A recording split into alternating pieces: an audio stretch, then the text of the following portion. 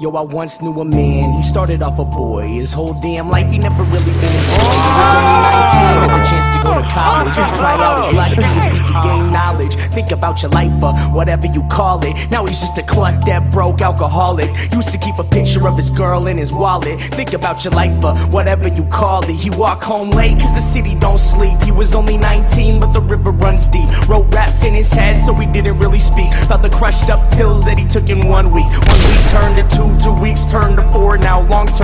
long-term knocking at his door. Started losing weight, coming late. But he's running. His family and friends said he was up to something. Got to the point where he couldn't even function. Calling up his dealer, begging, please give me something. I just got evicted and I ain't got nothing. The dealer was a prick. His reply was reluctant. I could get you high up the shit nobody fuck with. Even all the fiends know better than to touch it. He was